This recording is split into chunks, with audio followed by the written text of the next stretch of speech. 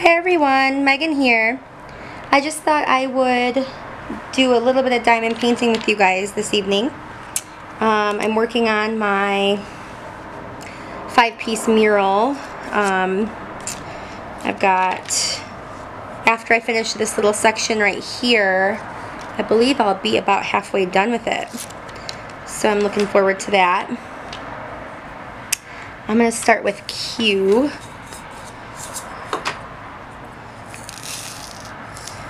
because I noticed um, a lot of it. I'm going to be using the three drill tip as well as my single. And I have my little book light here as well so that I can look under it to see any imperfections. Um, I'm just going to quickly there's one like half bead in there. Uh-oh. I might need to redo my wax on my single. And then after I do um, the light, the overhead light test, I do the under light test. Just quickly, just to sort of check it out a little bit. I've been also noticing a lot of little like pieces that are going to um, like the extra parts on the drills that are going to probably impact the way that the other ones fit next to it. So I take those out as well and I put them in my little my little dish here. So I'm trying out my camera instead of my phone. So we'll see how this video turns out. I'm still working on it, so if it's good enough to post on YouTube, but it's not great, bear with me, okay? Because I'm just working on it. If it's not close enough, I have a, a better lens I can use as well. So I went to my parents' house for dinner tonight. They live only about three miles from me, which is nice. um, and I kind of talked to my mom about diamond painting. And I um, sort of told her about the five-piece mural that I'm making for her. I didn't tell her what it was, um, but I did prepare her that she's going to want to hang it up somewhere because it's going to be absolutely beautiful and amazing. And I don't think she has any idea what in the heck it could be. And I don't know if you guys have seen my previous video about the John Wayne um, diamond painting but I also told my mom about that. I did tell her that it was a John Wayne painting for my dad. So I told her that she was going to have to hang it up somewhere inside. And when I first said I'm making a diamond painting for my for my dad, she said, "Oh God, is it a Charlie Brown one?" because he loves Charlie Brown, and I usually get him Charlie Brown knickknacks and stuff. Um, And so I said, no. And she said, okay, well, what is it? Can you tell me? And I said, yeah, I can tell you. So I said, it's John Wayne. And she said, oh, that's okay. And I was kind of surprised by that. Um, but I did notice that he has a John Wayne um, picture in his basement and he has a John Wayne picture in his garage with and I believe it's has a American flag in the background just like the one I chose. So I guess I know him well since I got practically the same thing for him in a diamond painting. Um, but the diamond painting is going to obviously be much much cooler than just a picture I really, really am enjoying the effect of the diamond painting, um, the finished product. I put them up on the wall across from me, like so I can see them from a distance. and I'm really enjoying seeing them finished. I think it's really nice to be able to see and enjoy them before I just stash them away in a box or something. So I'm really liking the finished product a lot.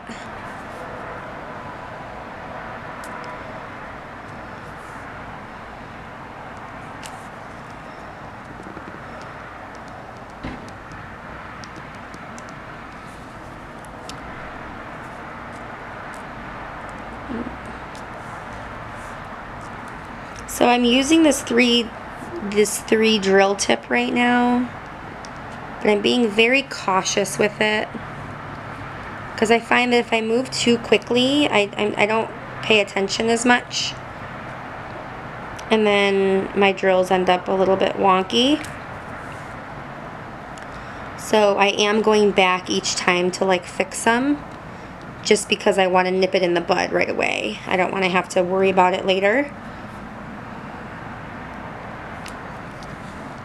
A problem that I notice that I do personally, and I don't, I think this is user error, is I will, um, I'll stick them like way as far as close to like this bottom as possible and then there's space up here because I put them so far down and if I do that all the way up then I then there becomes a space so like with this long line or whatever um, and then I noticed that there's like seams, and that's why is because I'm giving too much space, which is kind of funny to me because you know you think well you should stick them next to each other as close as they can go, but then you have a lot of extra gaps in your finished product. But that's probably just my problem. So I'm trying to give these little guys some space to shine.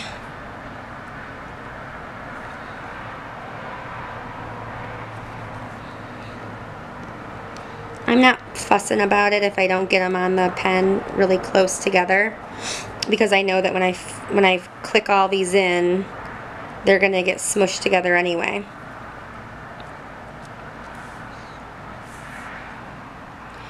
Although I am a little bit nervous because the first square diamond painting I ever did is hanging up on the wall across from me right now.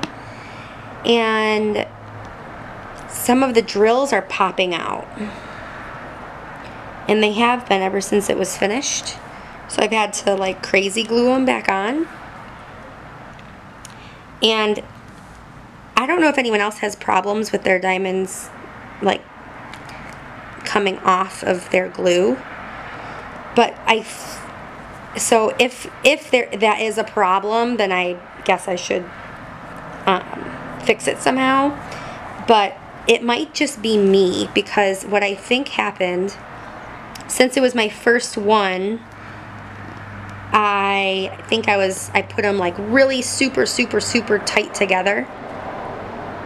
And what I think is happening is I think they're just pushing each other too hard and they're pushing themselves up. That's what I think is happening. Now, I don't know if that's like legit or not, but I have a feeling that it was my fault. Because I haven't heard anyone else complain about their finished square projects. I love the effect they have and it's only on that one that they're popping off of.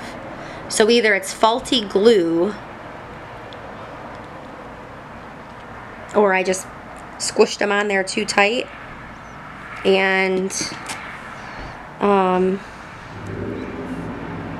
they're pushing off. So we'll have to see. Yeah, this wax on this drill pen is going to have to be replaced pretty soon. Oops.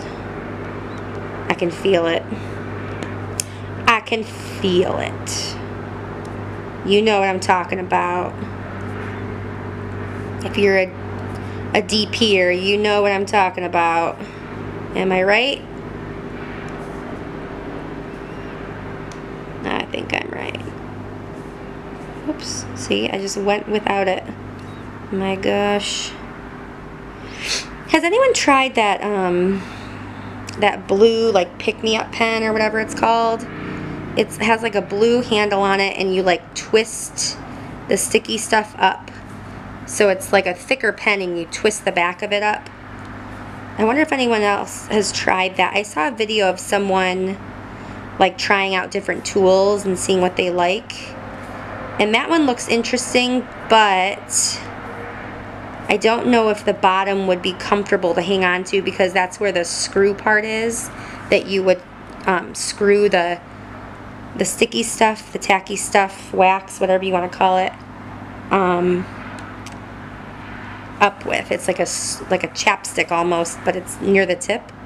So I wasn't sure if that was something that I would like to hang on to forever because you know to do this craft you have to hang on to the to the pen obviously so I want it to be comfortable. So I'm not sure, but...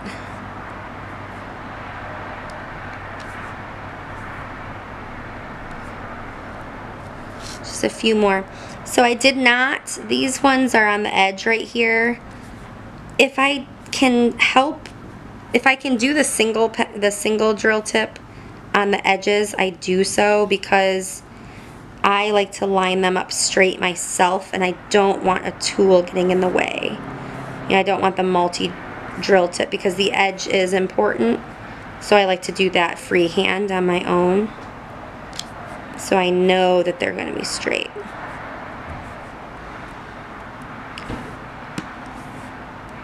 I love that click. Don't you love that click? Did you hear that? So I tend to use um, whatever color um, is next in my tower of jars. So I think I'll go with ends next because I see a lot of ends um, near the Q's and they're in my jar so I'll just use those. Shaky, shaky, shaky. Do the above light test. And, ooh, I'm going to use my tweezers for that one. And this one. I'm getting a lot of trash in these drills, especially in my elephant work in progress. I've been getting a lot of trash in those drills. It's really a bummer. You get like, I feel like you get kind of like the bottom of the barrel or something, you know? Alright, I just want to make sure, whoa, that you guys are seeing all that you need to see here. Alright. Okie dokie. I've got a couple of the three years I can do.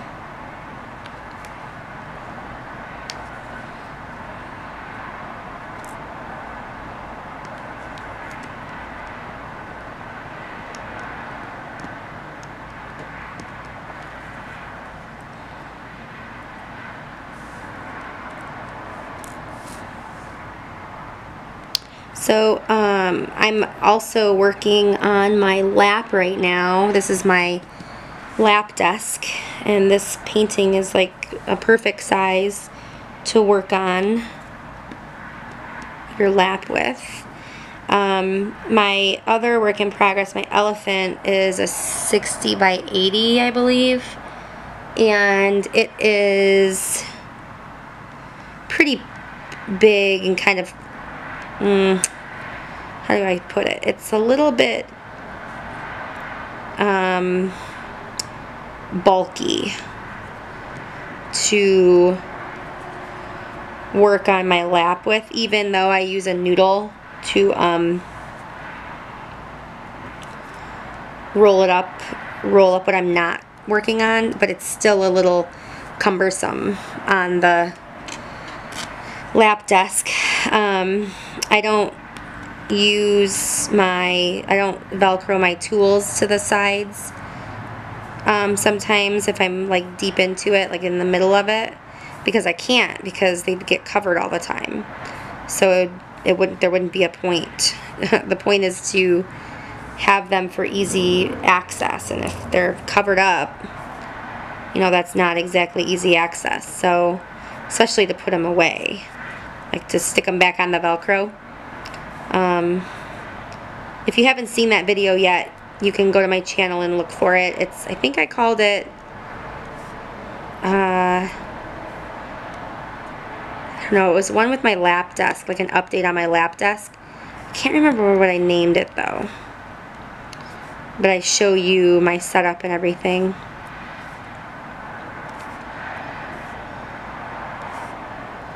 It's kind of frustrating actually to work on the bigger ones like in the middle because you can't like reach them like you can with the smaller ones, you know? So I'm still trying to wrap my head around how I'm going to do that. But we shall see. I just worry about leaning on the drills too much because um, I don't want the drills to move around. And if I'm leaning on them all the time, I think I'll like push them around and stuff, and I don't want to do that. Alright. Those are the ends, so I'm to put them back in here. Just a tap, tap, tap on the edge. Alright, what else can I do in this tower? Anything convenient? I got, do I have any P's? Nope. Q I did. R. I have one R. So what I do is I unscrew my jar here and then I just take one out right there. I don't even pour it onto my tray. I just pour, I just stick my pen in and I grab one, I go fishing and I come back out. Alright, are there any L's? Yes, I do see I see a handful of L's, but I don't know how many there actually are. So I will pour them because I don't know how many there actually are in there. Alright, gotta take out the yucky ones.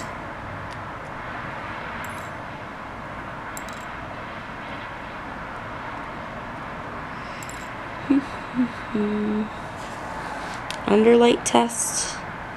The under light, putting it on this light pad helps you to see through the, tra the um, tray and the drills so that you can tell which ones are too thin. Because um, if you notice, sometimes you get really thin drills and they're actually, ooh, like this one is a great example of that. This one actually wasn't too thin, but the, un the bottom of it is like concave. It's like indented there. So really the only points that are to stick to the canvas are the corners and like the edges. And that won't, I feel like that won't stay very long. So I don't want to use that one. I try to catch those, but I know there's some I, I don't catch. Sometimes they can be hard to find. Okay, there's a lot more L's than I thought there was now that I'm really looking at it. These letters can get, these symbols and letters can get tricky to look at because the Y's and the X's and the K's um, all start to sort of look the same. And so it gets a little tricky to seek them out.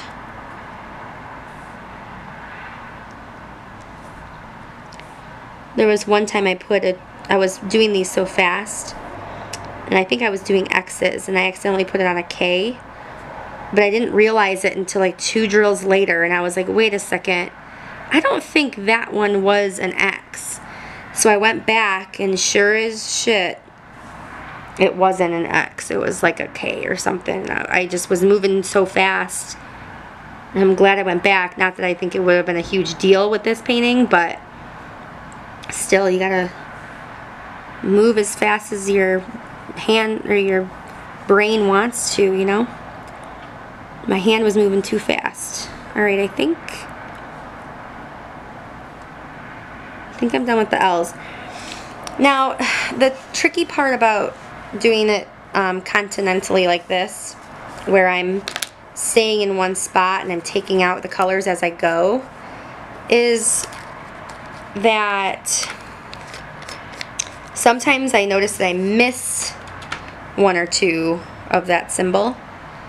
And that's not the end of the world or anything, but it is kind of a pain. Um, but I guess you could miss some if you did it um, cross country too. Um,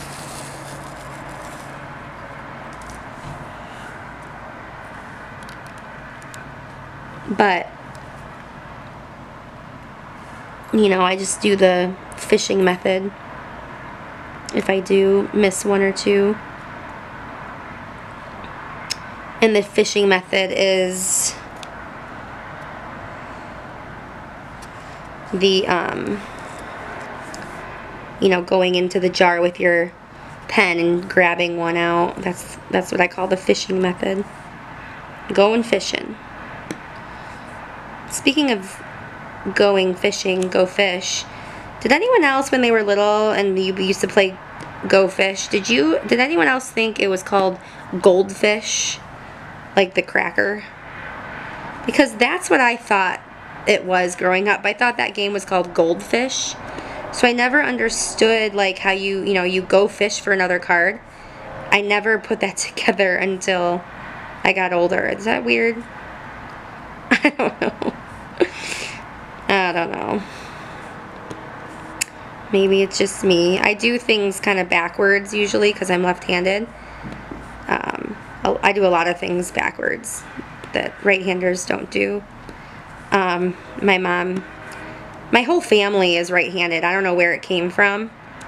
Um, but my mom, whenever I help her cook and I'm like stirring something for a long time, she always like cringes and I go, what? And she goes, you make it look so hard.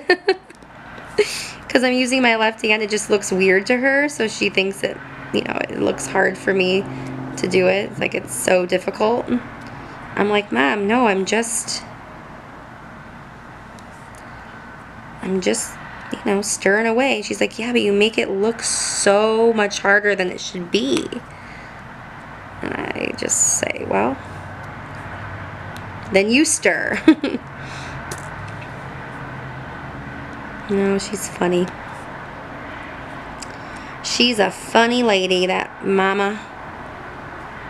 Alright, so what I'm doing now with these, um, I'm doing these numbers, the number sign, or the hashtag, if you will, um, is I, I'm with my single drill tip right now, and I'm going through and just like making sections of three come out. So I can use my drill pen, my three drill tip pen in a minute. Um, it depends on which pen I have in my hand when I start a color and that depends that um,